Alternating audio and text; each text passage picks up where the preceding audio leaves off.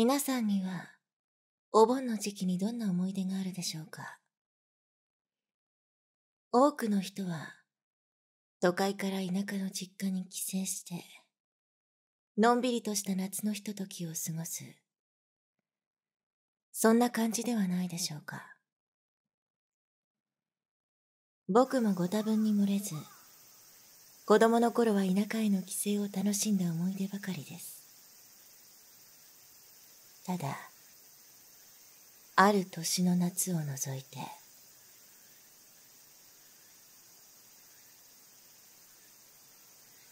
その年も、田舎の実家へ帰省するために、長野の山中に向かいました。いとこたちとも合流し、昼間は山で虫取り、川で魚釣り、夜は地元のお祭りで騒いだ後、買っておいた手持ち花火を持って庭で遊んだりしました。普段一人っ子の僕は、いとこたちと遊ぶことがすごく楽しかったのです。たくさん集まるいとこのうちでも、特に僕が仲が良かった三兄弟の、仮に T 兄ちゃんとします。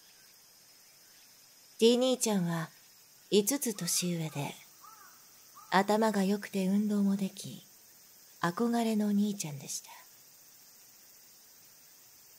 T 兄ちゃんのお母さん、つまり僕から見た M おばさんは、本家のおじさんの妹で、とても優しく人当たりがいい人で、僕もよくしてもらっていました。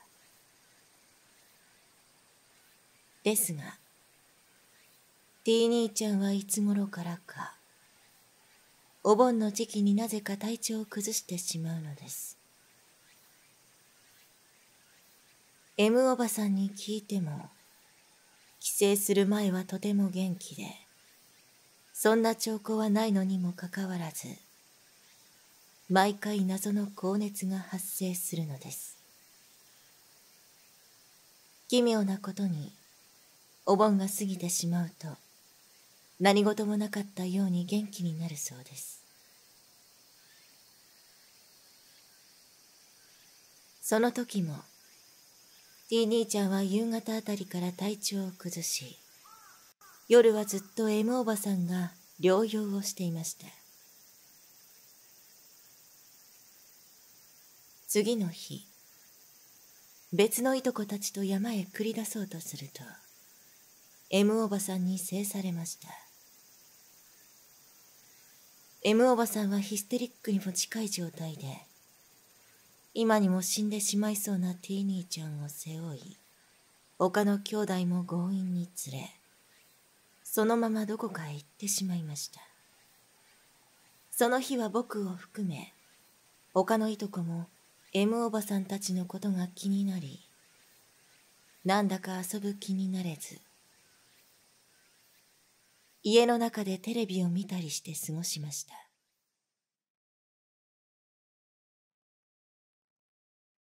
夜、もうすでに子供は寝る時間でしたが、僕はトイレに行きたくて起きました。眠い目をこすりながら廊下を歩いていると、今で大人たちが話し合っているのを偶然耳にしました。内容は、どうやらティー兄ちゃんのことでした。扉越しに聞き耳を立てていると、不意に扉を開けられてしまいました。そこにいたのは、僕らと同じ分家の A おじさんでした。この A さん、心が子供のまま大人になったような人で、子供の行動に理解があり、よく一緒に遊んでもらっていました。聞き耳を立てていたことは気に留めず、そのまま一緒にトイレに行きました。M おばさんのことは心配しなくても大丈夫。T 兄ちゃんを病院に連れて行ったんだ。明日には帰ってくるよ。と教えられました。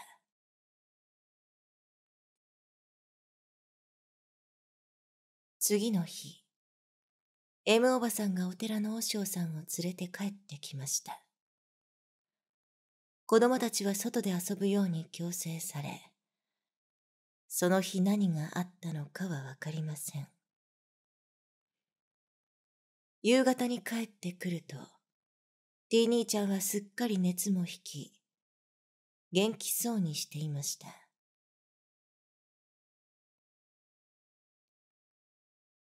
M おばさんがずっと喜びの涙を流していたのを覚えています。その夜、残っていた花火を楽しもうと、みんなで庭に出ました。僕は A さんにも声をかけようと思って、父に A さんの所在を聞きました。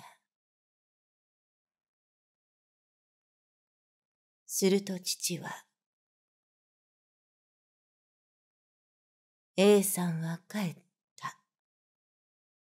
もうここには来れないんだ。とだけ言いました。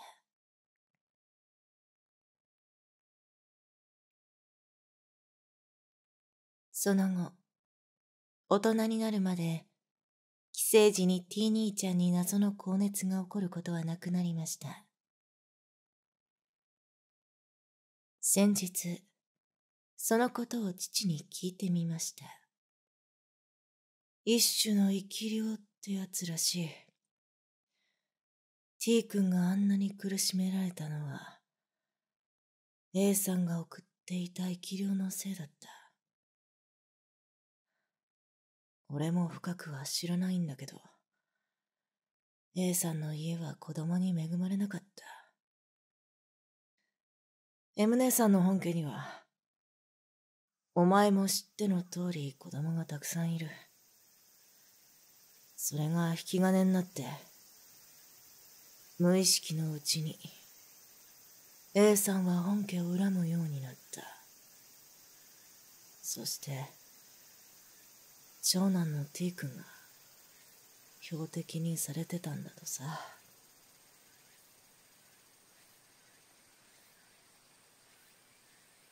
きっと A さんは、子供が好きだったのでしょう。僕らが遊んでいた A さんは、とても人を恨むような人柄ではありませんでした。けど、だからこそ裏では、渇望していたのでしょう。そしていつしかその渇望は、無意識のうちに怨念になってしまった。今でも A さんは本家から絶縁されたまま。噂では行方不明になっているとかいないとか。T 兄ちゃんとは帰省のたびに遊ぶようになり大人になった今でも仲良くしています。生き量はほんの些細なことでも無意識に飛ばしてしまっているそうです。皆さんも人を無意識のうちに恨んだりはしていませんか？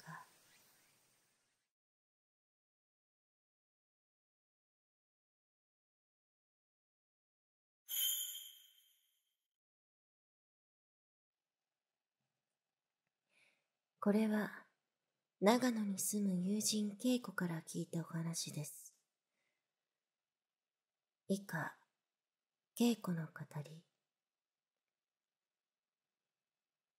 祖父が既得だと連絡を受け、私と母、そして父の三人で長野にある救急医療センターに向かった。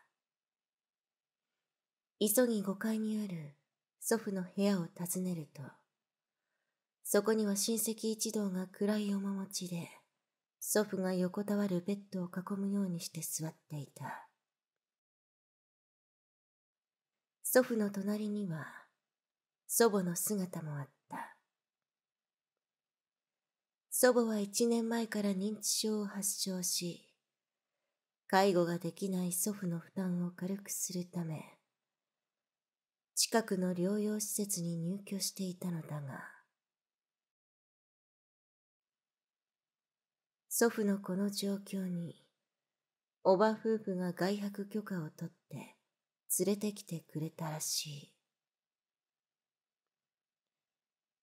祖父は今にも閉じそうな目を、かすかに震わせながら、今しがたついたばかりの私たちの顔を見るなり、よう来たな。元気、やったか。と。振り絞るような声で言った。その声に思わず泣き出しそうな私の肩を、母は後ろ手に抱き寄せながら、自分も今にも泣きそうな声を我慢しつつ、ええ、元気ですよ。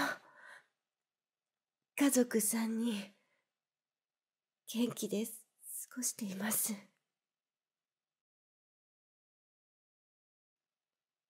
そういった母の言葉に、父も力強くうなずいてみせる。そうか。ならよかった。本当によかった。消え失せそうな祖父の声に、私は我慢できずに祖父に飛びついた。おじいちゃん、やだよ。もっと長生きしてよ。私の悲痛な声に、祖父は満面の笑みを浮かべてこう答えた。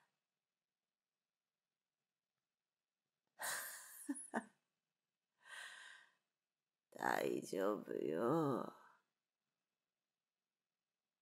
いつの日か、お盆には、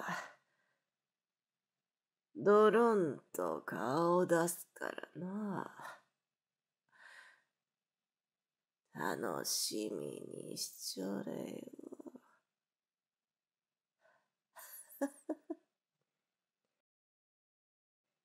そう言って、祖父は歯抜けの口を大きく開き私に向かって笑ってみせた。直後、ピーッという断続的な機械音が部屋にこだまし、それと同時に祖父の体は力なく傾いた。部屋の隅で一部始終を見守っていた病院の先生と看護師が、見る間に正気を失っていく祖父の手を取り、時計の秒針を確認している。その時、祖父は亡くなったのだと私は悟った。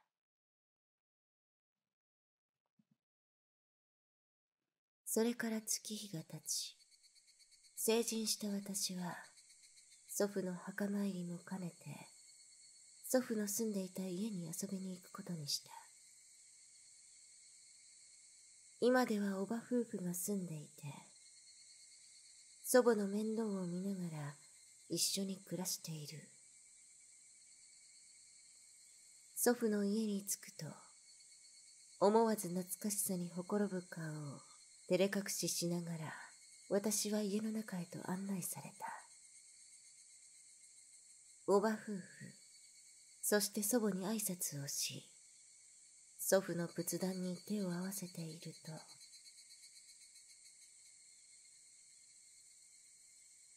恵子ちゃん本当に大きくなったわね見違えたわ。おばが入れたてのお茶を出しながら、私に言った。当時の私はまだ中学生で、今はもう社会人になる。日々の忙しさもあり、ここ三年は祖父の墓参りをサボっていた。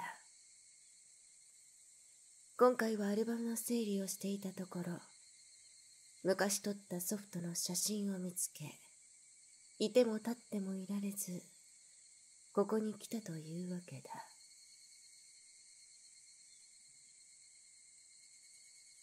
なかなか来られなくてごめんなさい。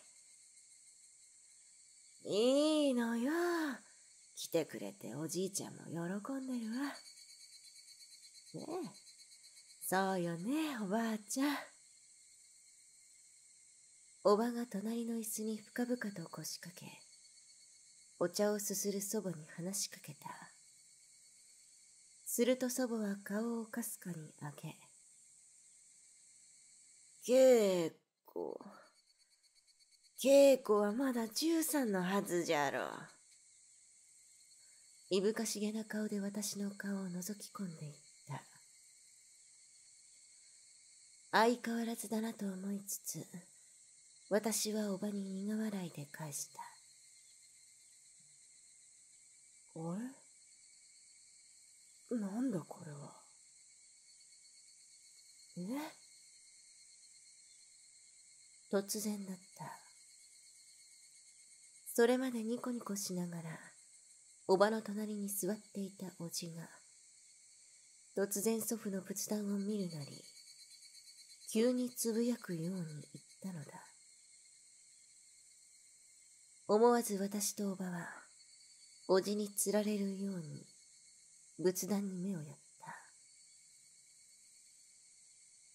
ふわり、と、何か白煙のようなものが、仏壇からゆっくりと立ち上っていた。ろうそく、線香。そう思ったが、両方とも火は消えている。それ以前に、煙はゆらゆらと現れたまま、その場で揺れたまま形を崩そうとしない。わずかに線香のような匂いを漂わせて、その場で揺らめいている。何これ？おばがそう言った時だった。私の脳裏に、あの時祖父が亡くなる直前に言った言葉が、かすかに横切った。瞬間、私はそれを自然と口にしていた。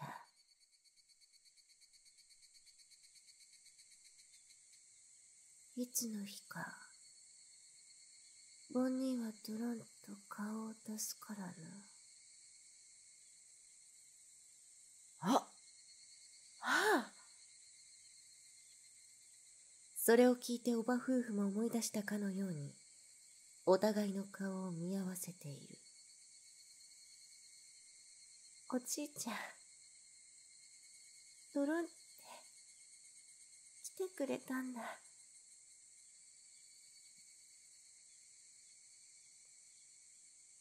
怖いというより、自然と私の目には涙が浮かんでいた。するとさっきまで無言だった祖母が、突然よろよろと立ち上がった。慌てて駆け寄ろうとしたおばを、祖母は片手を上げ制すると、おぼつかない足取りで仏壇へと向かった。おばあちゃんにも、おじいちゃんがわかるんだね。そう思い、私の目は、もはや決壊寸前のダムのようになっていた。思わず口を片手で覆ったその時、祖母がゆっくりと口を開き、こう言った。煙たいね。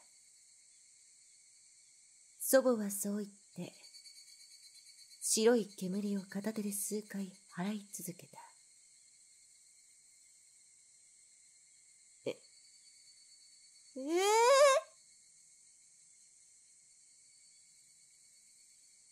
ー、思わず私の口から声が漏れた。おばあちゃんの片手が煙を払うと、煙はその場で揺らめくのをやめ、スーッと登り始めたかと思うと、天井に吸い込まれるようにしてかき消えていた。一度そううめきながら、微動だにしないおばあちゃんを見ながら、いつまでも唖然としていた。以上が私がお盆に体験した実話です。おじいちゃん、ごめんね。また今年も顔を出すからね。楽しみに待っててね。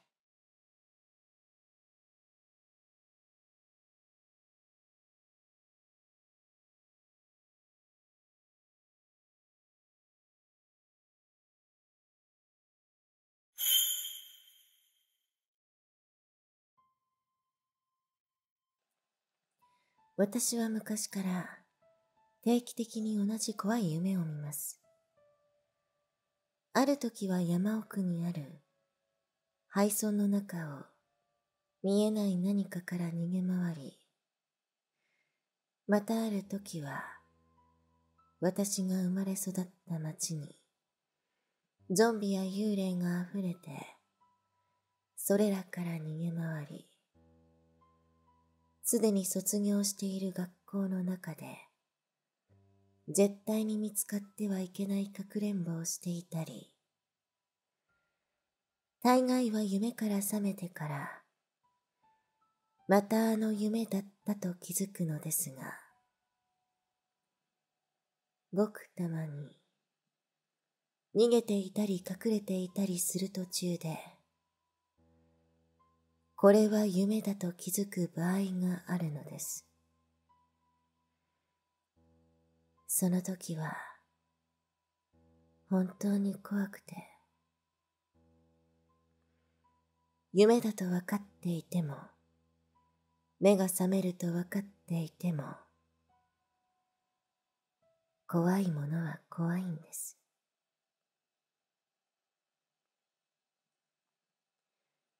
少し話は変わりまして、怖い夢と同じく、私は夢の中で何回か出てくる建物があります。外観はその都度、駅ビルだったり、近所のスーパーだったりと変わるのですが、内装は絶対に同じ。巨大ショッピングモールと言えばいいのでしょうか。そのような建物です。特に頻度が高く出るのは2箇所ですが、今回はそのうち一つが出てきた夢のお話をさせていただきます。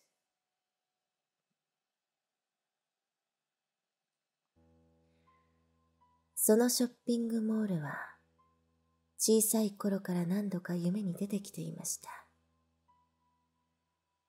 中は至って普通でエスカレーターがあり、1階はあまり行ったことがないですが、確か広々として数店お店が開かれています。エスカレーターに乗って2階へ行くと、今度は逆にごちゃごちゃしていると言っていいほど、お店がひしめき合い、買い物をしているお客さんの姿も見えます。3階は薄暗く、巨大なゲームセンターになっており、4階は4階には行ったことがありません。いえ、おそらく毎回言っているのだとは思います。ですが、4回だけは記憶にありません。その理由というのが、このショッピングモールに行くと、必ず私は1階を通り過ぎて2階へ。そして2階で何を買うわけではないのですが、ぐるりと店内を見て回り、今度は3階へ。ここでも巨大なクレーンゲームや何個もあるゲームを除き、時々プレイして満足したので、さあ帰ろう。となったところで、異変が起こるからです。それは先ほどまで2階で買い物をしていた人たちが、化け物になってショッピングモール内の人を襲い始めるという、まるでどこかのホラー映画のようなことが起こるからです。私はその騒ぎが起こると、慌てて逃げ惑い、他の人たちと一緒に上へ、4階へ逃げる。大体はここで目が覚め、言っていたとしても全く覚えていません。覚えていても、4階へのエスカレーターへ向かって走るところまでです。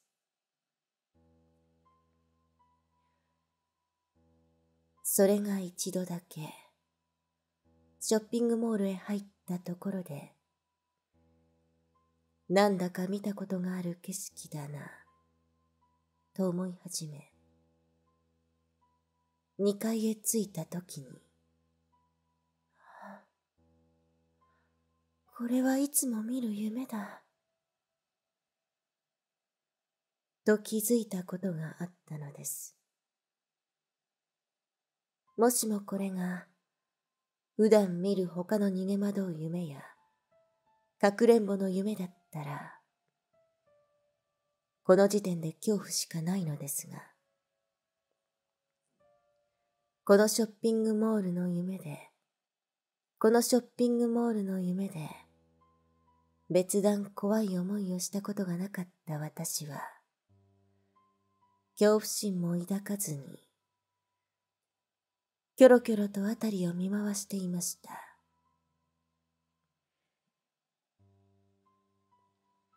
化け物に襲われる。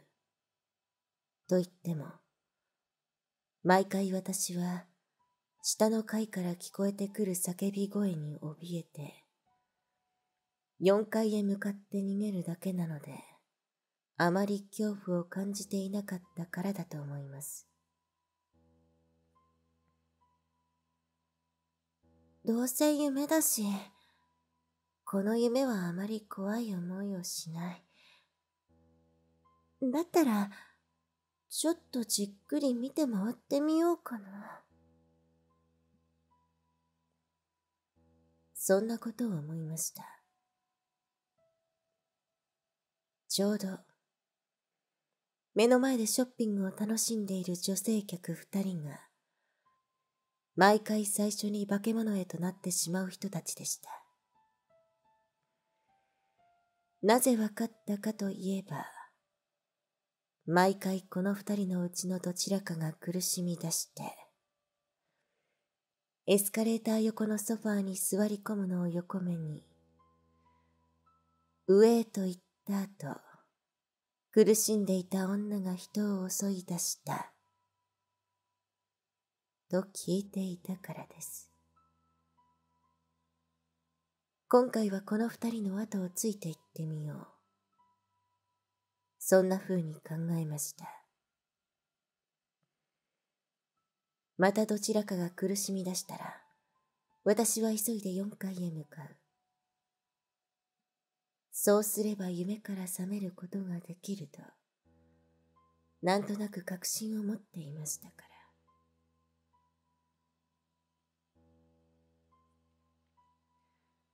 二人の後をこっそりついていきながら私もショッピングを楽しむ。今までは義務的にぐるりと回っていただけの店内でしたが、改めてじっくりと見てみれば、いろいろな商品があって、夢とはいえどとても楽しかったのを覚えています。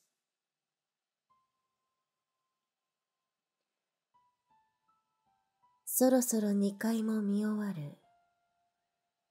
今回はどちらの女性が苦しみ出すのだろう。そう二人の背中を見ていたところで、今までとは違うことが起きました。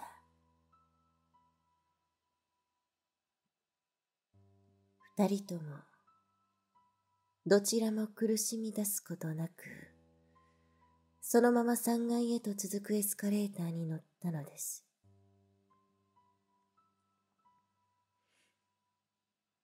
今までにない展開に驚きつつも、とにかくあの二人を見守ってみよう。そう思って私も、二人に続いて三階へと向かいました。気づかれないように、距離感を保ちつつ、二人を追いかけてゲームコーナーへ。二人が何か会話をしているのを見守っていると、また今までと違うことが起きました。あれ？ここで会うなんて珍しいね。そう誰かに話しかけられたのです。驚いて振り返ると、前の職場で数ヶ月だけ一緒に働いていた女性、A さんが驚いた顔で立っていました。どうしたの？ここで会うの初めてだよね。いつもいないよね。そんな風に早口で話しかけられたのですが、私は、ここにはあんまり来ないから、いや、今日はなんとなく、とか、そんなことを返したと思います。ふーん。納得しているのかいないのか、よくわからない表情で A さんはうなずきました。私も普段ここ来ないんだけどね。まあ、こういうこともあるか。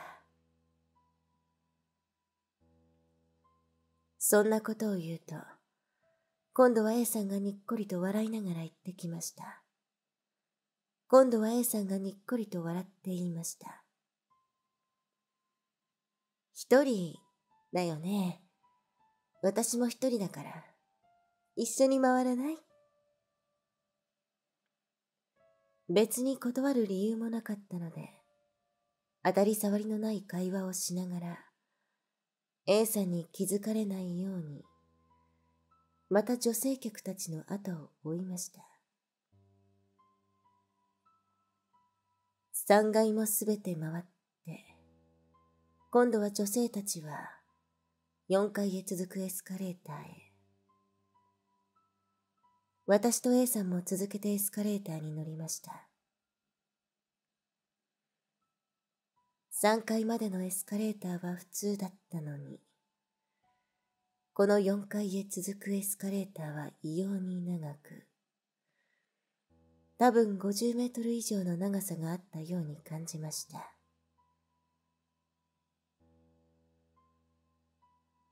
残りが半分ほどの距離になった時、いきなり停電になりました。私や周りにいた数人も、みんな驚いて辺りを見回していました。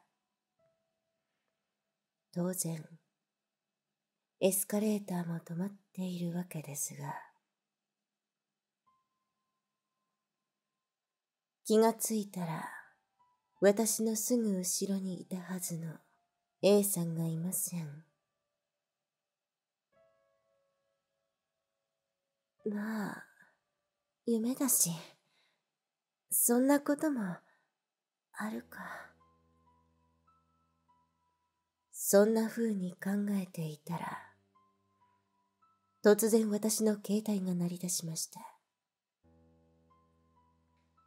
カバンの中で鳴っていたはずなのに、気がついたらいつの間にか携帯は私の手の中に。私、いつ携帯を出した？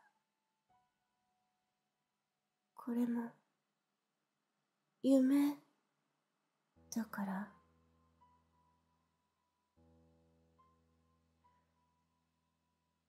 恐る恐る画面を見ると、そこには A さんの名前が。なんだ A さんか。電話に出ようとしたところで、言いようのない恐怖が私を襲いました。この電話に出たら、良くないことが起こるのではないか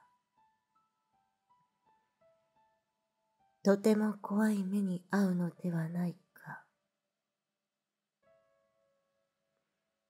そんなことを感じましたが、電話は鳴りやみません。ど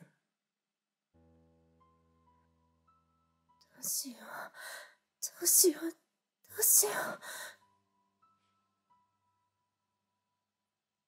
気づかなかったふりをして、カバンにしまっても、いつの間にか携帯は手の中に戻ってくる。これは夢だと分かりながらも、あまりの恐怖に泣きそうになっている時に、ふと気がつきました。エスカレーターに誰もいない。さっきまで追いかけていた女性客二人はもちろん、他にも数人乗っていたはずなのに、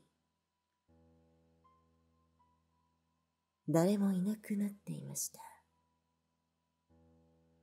そしてエスカレーターの続く先、4階の踊り場に、笑顔の A さんが立っていました。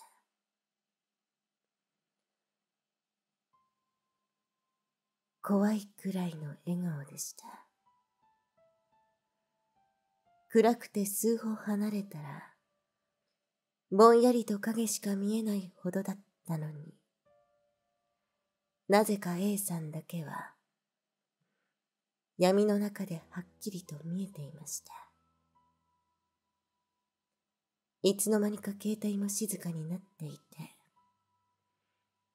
真っ暗な世界の中に、私と A さんの二人きり、目をそらせずにいると、A さんがゆっくりと何かを持ち上げました。その何かを顔の横、耳元へ持っていったことで、A さんが携帯を取り出したのだと気がつきました。そして、再び鳴る着信音。当然のように、カバンの中ではなく、私の手の中にある携帯電話。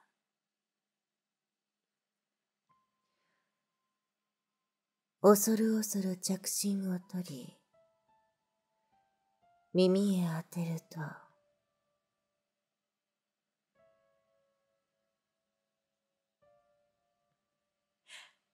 気づいちゃった。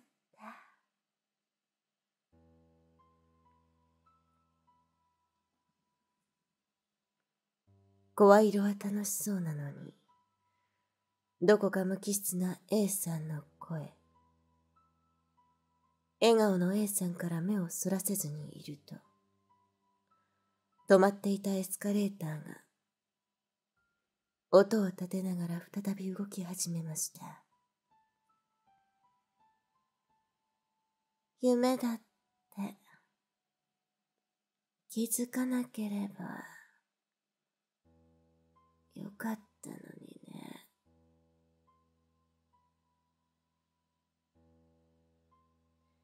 ニコニコと笑う A さんが、すぐ近くまで迫ったところで、私は飛び起きました。この夢は昔から何度も見ていた夢です。年に一度、多くても二度ほど繰り返し見てきた夢ですが、この夢を最後に、もう三年ほどこの夢を見ていません。ただの夢だとは分かっています。もともとホラー映画や怖い話が好きな私が、いろいろな作品を見すぎた結果、夢にまで見てしまっただけだと、わかっています。それでも未だに、あの A さんの笑顔と、気づいちゃったという機械的で、それでいて楽しそうだった声が、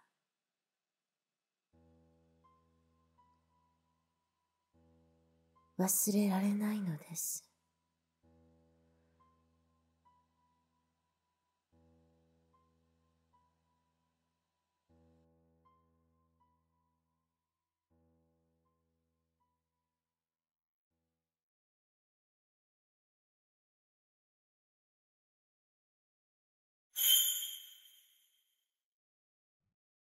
これは、バイト先の人たちと、K トンネルに肝試しに行った話です。バイト先の先輩と、彼氏とで、計5人くらいで、有名な心霊スポットに行くことになりました。バイトが終わり、夜中0時過ぎくらいにトンネルに向かい、1時頃に着いたと思います。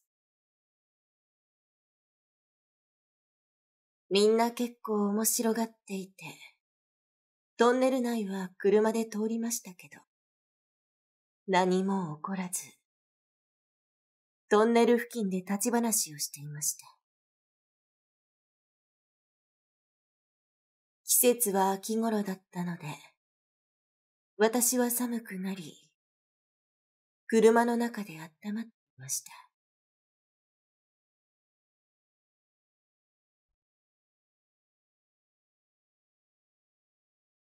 バイトの疲れもあり、うとうとしていたら、足首に何か掴まれている感覚があり、はっと目を覚まして足首を見ました。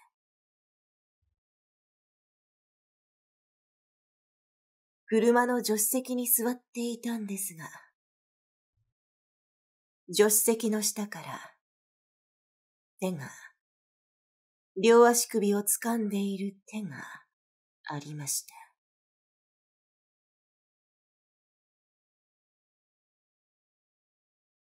金縛りとかはなかったのですが、これはやばいなぁと思い、外で談笑していたバイト仲間に、そろそろ帰ろうと声をかけ、みんなで車に乗って帰りました。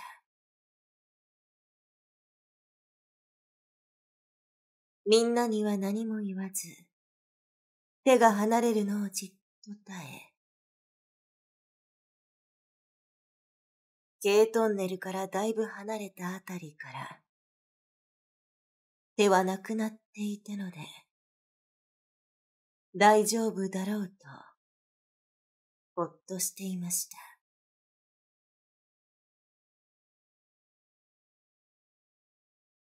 ですが、軽トンネルから地元に帰って、バイト仲間たちとファミレスで喋って、朝の7時くらいに家に帰ってきたら、すごい眠気に襲われたんです。私のベッドは、階段のついた背の高いベッドなのですが、登る気にもならず、床に倒れ込むように、というか、倒れました。そのまま目を閉じていたら、やたらと子供の声がする。幼稚園くらいの男女多数の子供の声。もう子供たちが幼稚園に行く時間なんだなぁと、うとうとしながら声を聞いていました。すると、どんどん声は笑い声から、開けて開けて開けてと、叫び声に変わります。うちはマンションですが、一階です。植え込みがありますが、子供くらいなら簡単に入れます。しかし、開けての叫びはどんどん激しくなり、ついには窓まで叩き出したのです。私は、いくら何でもうるさいし、親は何をしているんやと、怒って注意しようと体を起こそうとしたら、金縛りにあっていました。何度も金縛りは経験しているので、とにかく力で何とか上半身を少し上げ、窓を見ました。マンションの一階なので、窓は曇りガラスになっていますが、いるんです。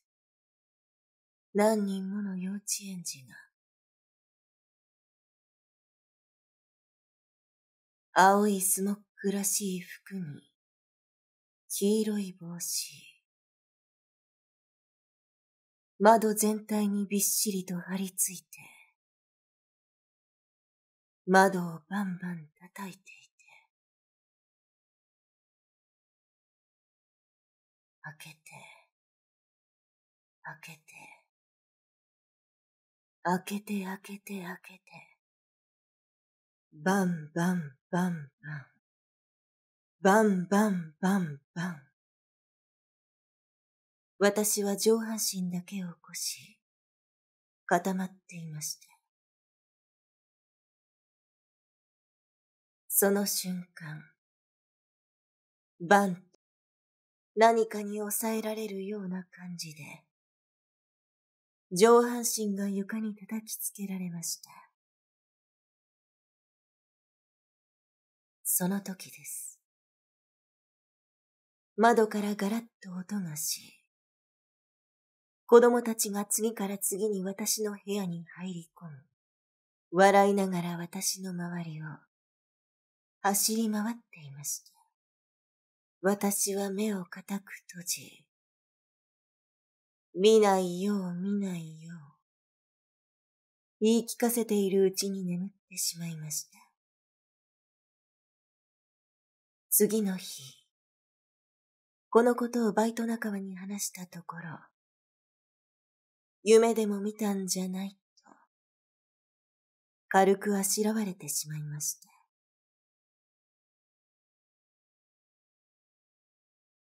でもね、どうして、鍵を閉めていたはずの窓が、全開になっているの？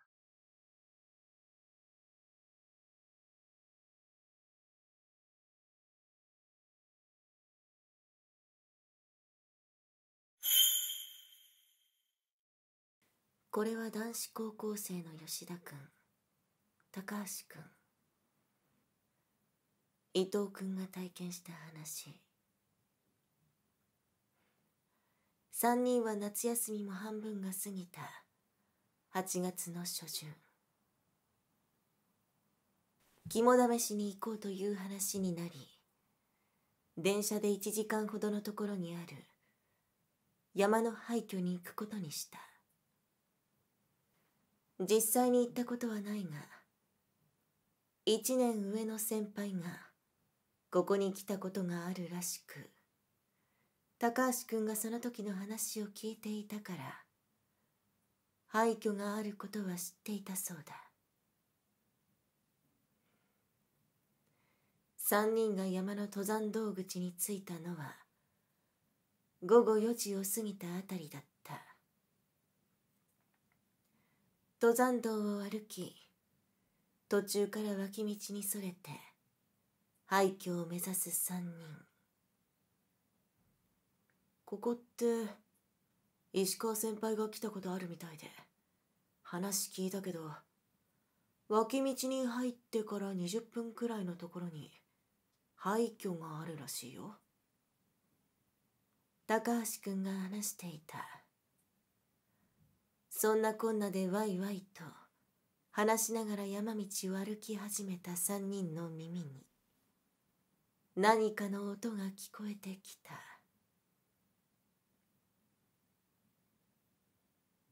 にゃー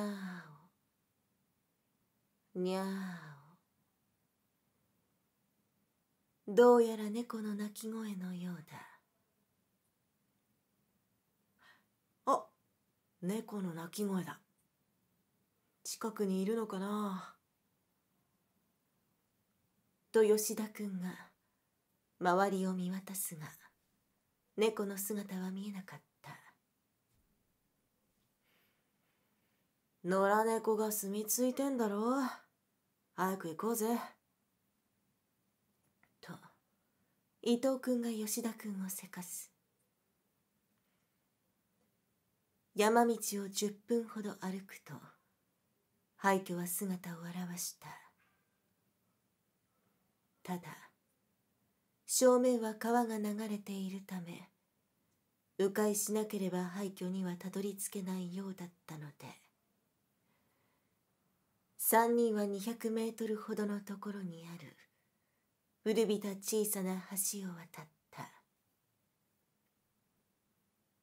橋を渡った後くらいからまたにゃおにゃ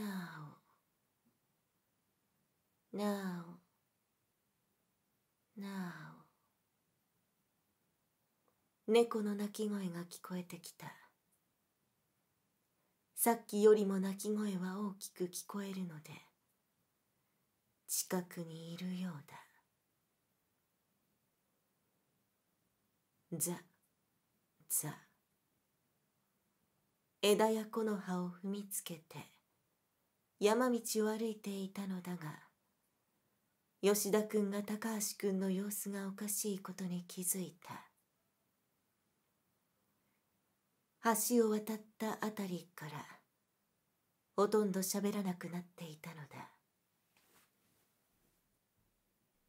高橋君は陽気な性格でいつもケラケラ笑っているような子なのだ。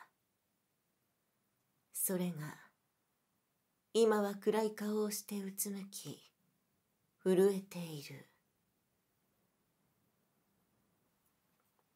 高橋？どうした？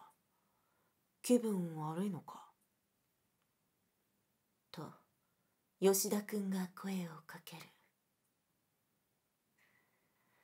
る。なんだよ、お前ビビってんの、伊藤君も声をかける。なあ、さっきから聞こえる鳴き声。あれ、猫、だよなと。高橋君が二人に問いかけた。え？ああ、そういやさっきからしてるな。と吉田君が言うと。伊藤君もうんうんとうなずいた。だが次の瞬間。吉田君が何か違和感に気づいたようで。あれ？これ。猫か。と言った？泣き声に耳を傾けると高橋君が震えている理由が分かってしまった。にゃーおにゃーおにゃーおにゃー。おにゃーおにゃおにゃおにゃおにゃおにゃおにゃおにゃそれ猫の鳴き声ではなく人間の赤ちゃんの鳴き声なんです。もう日も落ちかけている時間に誰も来るはずのない山道で赤ん坊の鳴き声がする。みるみるうちに三人から血の気が失せていった。しかもその鳴き声は廃墟の方角から聞こえていてこちらに近づいていた。やばいよ。もう帰ろう。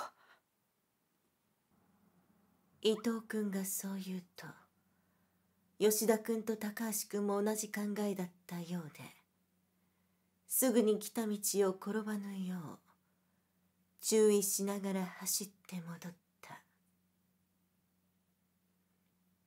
赤ん坊の鳴き声はずっと同じ距離を保ちながら聞こえていて登山道に戻るまで聞こえていたそうだ。もしあの時猫の鳴き声だと気にも留めずに廃墟に行っていたらどうなっていたか。三人は今でも時々思い出すそうです。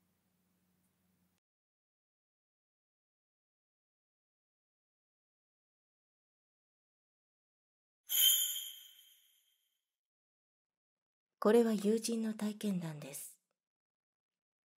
彼女はある日会社帰りの夜道で奇妙な人影を見ました。だらだら続く長い上り坂。車2台がギリギリすれ違う車道ですがほとんど車は通りません。その坂道の途中にものすごく斜めにかしいだ格好の人影があります。中年の男性のようでした。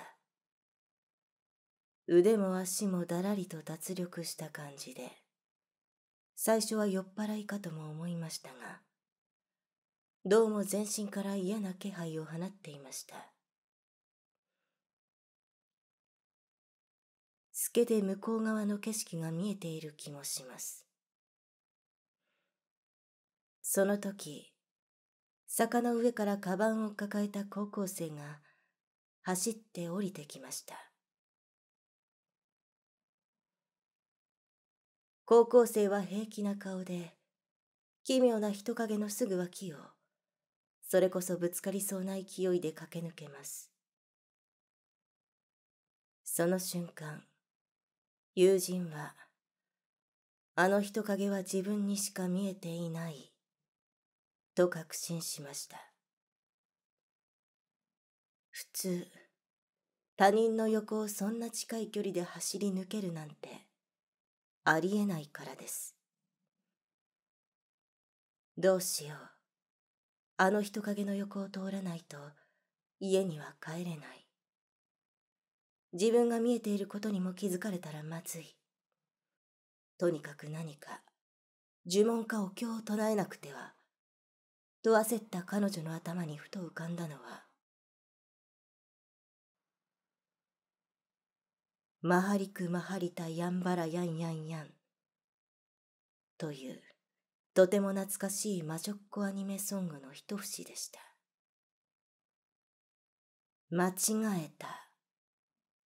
と一瞬思いましたが、もう他のお経を思い出す余裕などありません。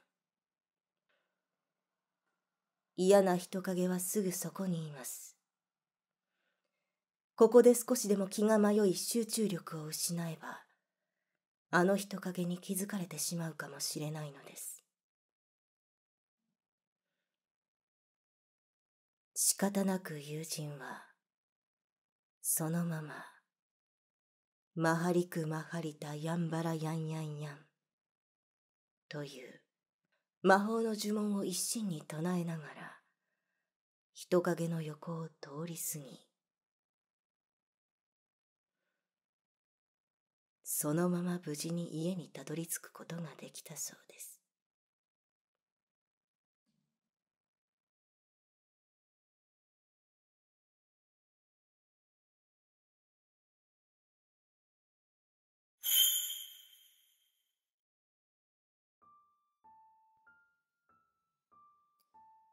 大学の友人にちょっと変わったやつがいた。心理学を専攻しているのだが、それを利用して仲間にいろいろなゲームを仕掛けては、反応を見て楽しんでいる。しかもそれをちゃっかり自分の論文に利用したりするというやつ。しかも、こいつ大の心霊嫌い。幽霊や何かは全部幻覚化心理的なものが起因している。というのが口癖だった。それに奴が意味嫌っていたのは占い。あんなものは心理学を応用すれば誰でもできるし統計学を理解していれば誰でも適当に当たるもんだと言い切った。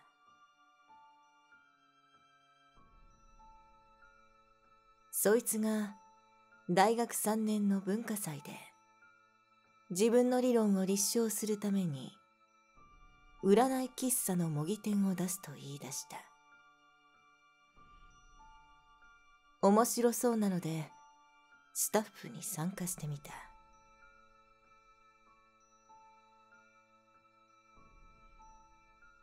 お一人様15分。ワンドリンク付き500円でスタートしたら、結構人が集まってくる。ほとんどが女子大生ばかり。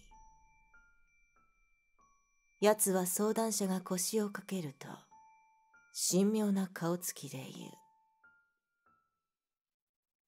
あなたは見た目と裏腹で、実は古風なお嬢様ですね。とは、ギャルへ。真面目そうでおとなしそうな子には、あなたには秘められた熱い情熱がありますね。とか、これがつかみである。要は見た目と逆を言えば、ああ、この人は私の本質を見抜いているんだと、錯覚してしまうというわけ。相談内容も若い女の子が気軽に立ち寄るとすれば恋愛運が大半だろう。これに関してもどんどん相手に鎌をかけさせて話させ時々分け知り顔のアドバイスをするだけ。カップルで来た客には倦怠期に入らないためには、喧嘩をしなさい。もっとお互いのことが分かり合えるからとか聞いているこちらが恥ずかしくなるようなことをくっちゃべって終わり15分の相談時間も長引けばボロが出るからそうしただけの話お後は多少いじったことのあるタロットカードをさも意味ありげに使い引いたカードで先行きをアドバイスするだけ。これでも客は意外と満足して帰っていくものである。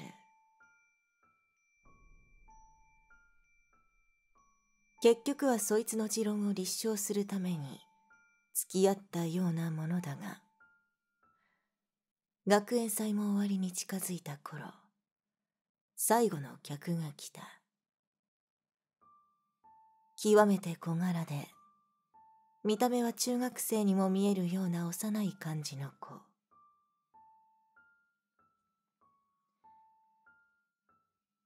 こりゃ簡単にかもれるなと思ったやつはおもむろにやりだした。ええあなたは大変可愛らしく見えますが精神的には非常に大人の部分を持っておられますね。さてお悩みはと聞くと。昔、好きだった人がどうしても。という。これは閉めたものと。物事は絶えず、前向きに考えねばなりません。あなたの前途には、と、タロットを取り出すが、奴の顔がだんだんおかしくなってきた。何度やっても死を意味するカードしか出ない。それを黙って見ていた相談者が、初めて。似たという感じの笑みを浮かべて一言。は嘘つき呆然として立ち直れないやつに相談者は言い放った。私が生きてるか死んでるかもわからないで。よくこんなことがやれるわね今日見た中にどれだけ私の仲間が混じっていたか分かったでしょ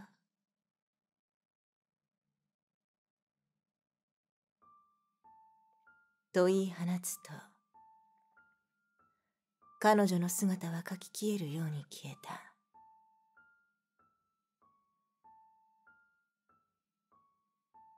た。慌てて私はブースを離れたが少し遠くから見たら奴のところだけ大量のオーブと思われる物体が飛び回っていた。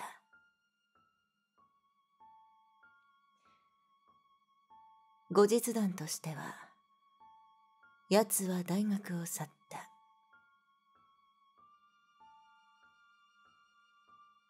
心理学科学万能という考えが否定され大学院から研究者へという夢もたった一度の体験で打ち砕かれてしまったのだから仕方ないといえば仕方がないが